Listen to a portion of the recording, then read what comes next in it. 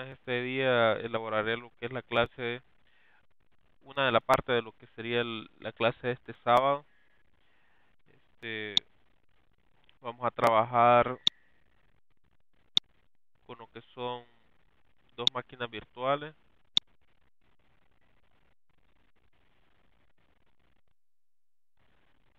Para que vean cómo se hace desde cero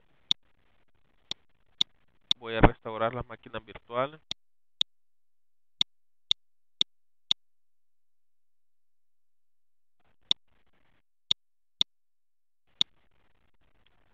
vamos a configurar lo que es un certificado digital instalaremos lo que es una entidad certificadora para almacenar certificados localmente y que el, el usuario pueda tener seguridad a la hora de visitar los sitios en la parte de lo que es el servidor. Lo primero que tiene que comprobar es que estemos en red interna, que el servidor posea una dirección IP, en este caso así es. Del lado del cliente igual debe de estar en red interna, debe poseer esta dirección IP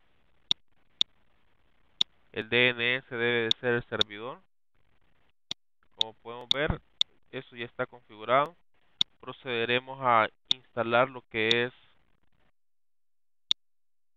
DNS y IIS instalaremos lo que es servicios de certificado de Active Directory DNS y servidor IIS acá solo vamos a instalar lo que es la entidad de certificación será independiente, no vamos a depender de lo que es una empresas a que se dedican a crear certificados digitales. Seremos una entidad certificadora raíz. Acá tenemos que crear una clave privada. Esto casi siempre se deja así por defecto. eso lo dejaremos así el certificado durará 5 años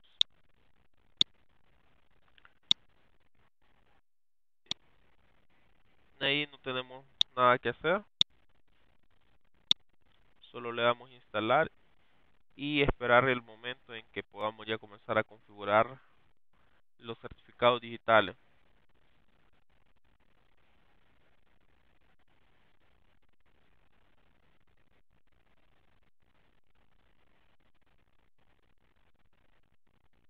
Esto es la parte donde nosotros podemos notar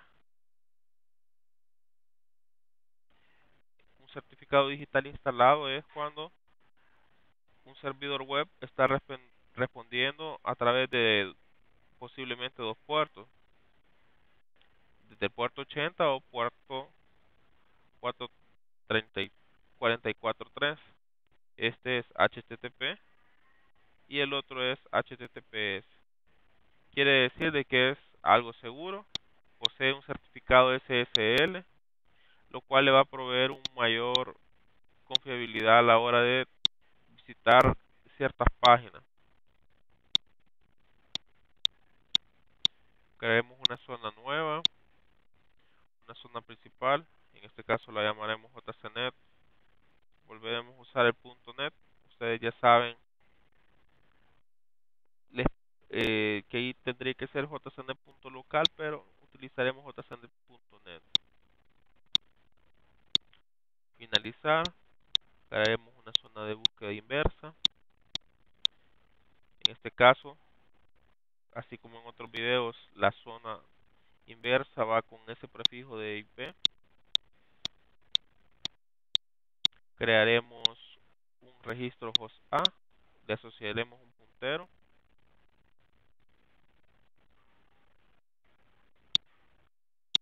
una vez hecho esto para que se vea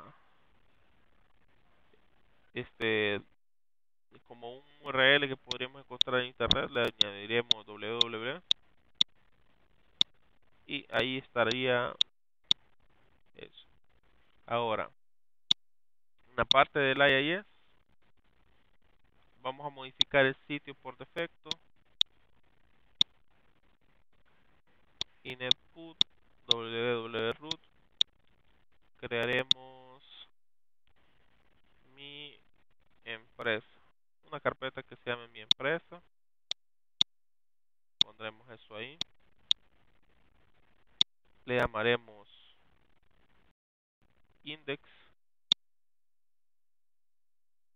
Lo modificaremos para que se pueda apreciar lo que es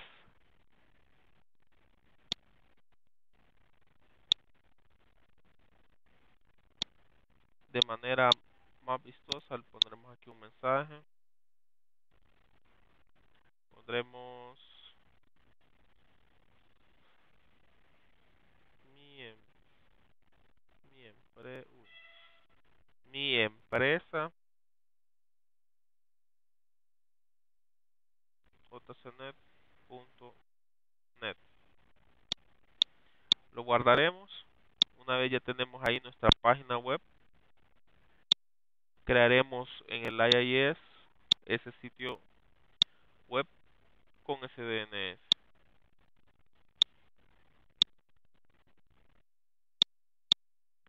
sitio web ¿cómo se llamará? mi empresa. Lo pondremos en minúscula. Una vez hecho esto seleccionaremos lo que es la carpeta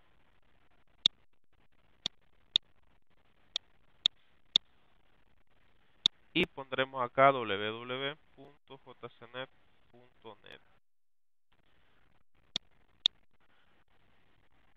Ahora, si yo visito este sitio desde lo que es el cliente,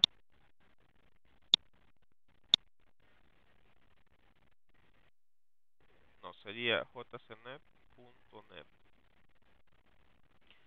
Me carga el IIS porque olvidé ponerle el W. Ahí está. Mi empresa jcnet.net. Vale. Si yo pongo una S acá, vean lo que sucede. Vamos a abrir una pestaña más para que se vea el efecto.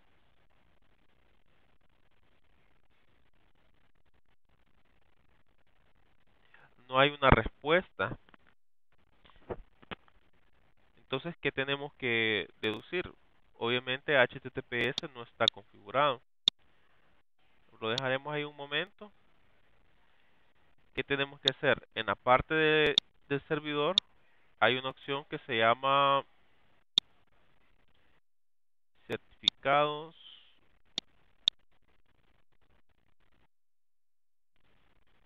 ya les digo por eh,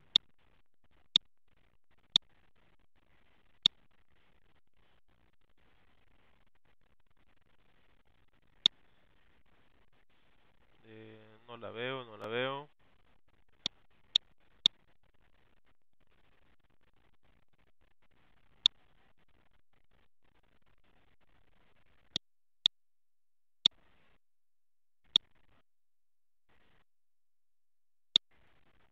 quiero ver si se instaló si aquí está la entidad de certificación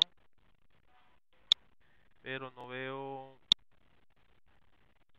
lo voy a cerrar lo voy a abrir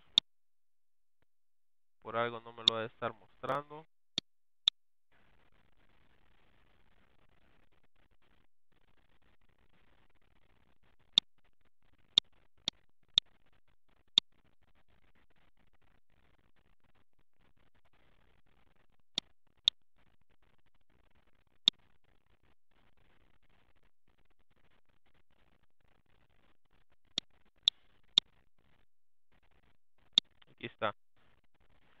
miraba yo la, opción.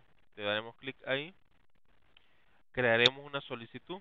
Esta solicitud será tendría que ser llenada siempre que se cree un certificado, nombre común. Pondremos que será para un sitio votacionet.net, una organización, digamos que la empresa se llama mi empresa, ¿sí? Unidad organizativa digamos de que es de informática. Ciudad San Salvador provincia San Salvador país o región.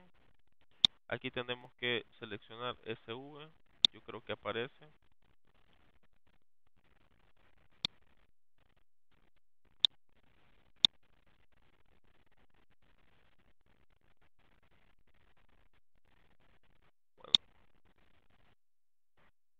utilizaremos una longitud de 2048 haremos siguiente.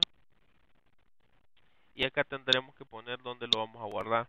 Yo le voy a poner certificado SSL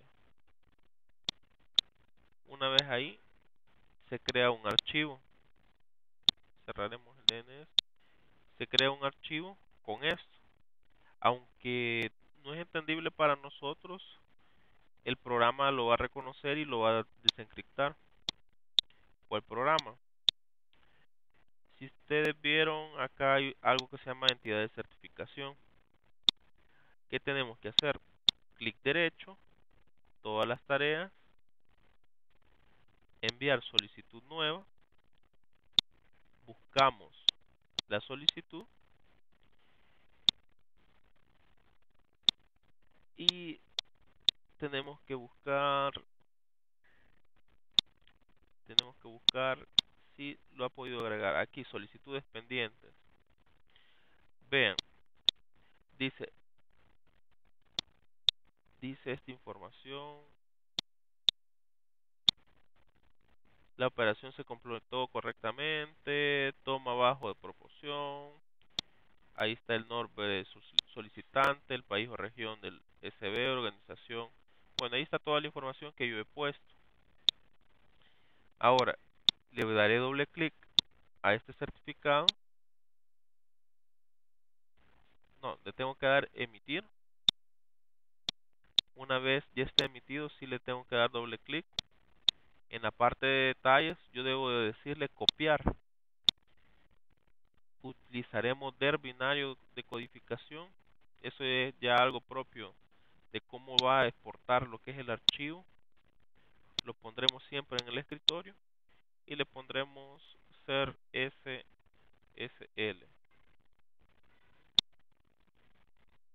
y vean ya le pone extensión .ser. Finalizar la exportación se completó correctamente. Aceptar cerraremos esto. Y aquí ya tengo el certificado. Ahora solo lo que tenemos que hacer es completar la solicitud. Tengo que ir a buscar el archivo del certificado.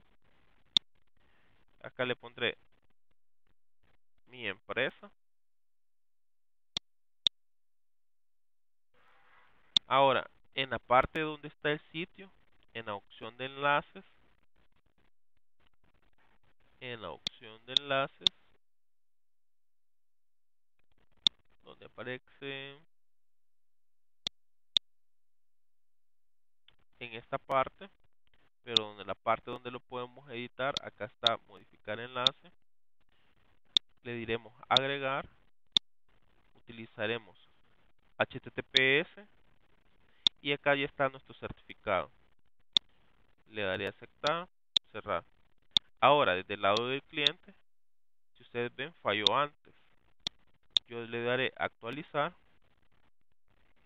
esperando que lo reconozca ya. Tendría que haber reiniciado lo que es el sitio para que lo reconozca. Cerraré las páginas y lo volveré a visitar.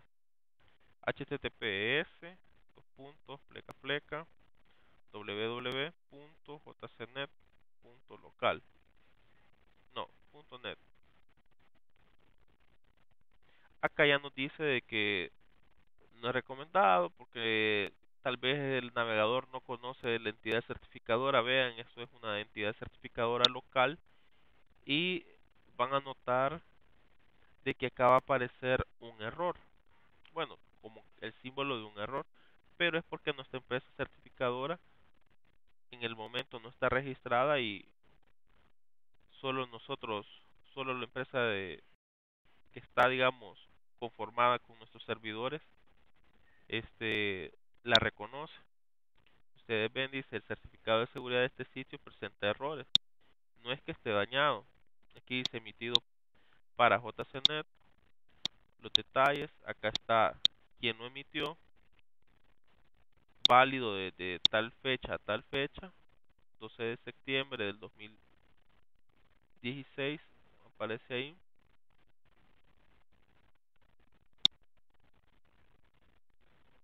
Y la ruta de certificación y aquí está certificado válido. Eso quiere decir de que el certificado se ha instalado correctamente. Ahora, ya podrían poner sitios tanto HTTP y HTTPS. Si existe cualquier duda o pregunta, háganlo por correo o en la manera que crean que sea lo más ágil para poder resolverlas. Bueno, esto ha sido todo por este video.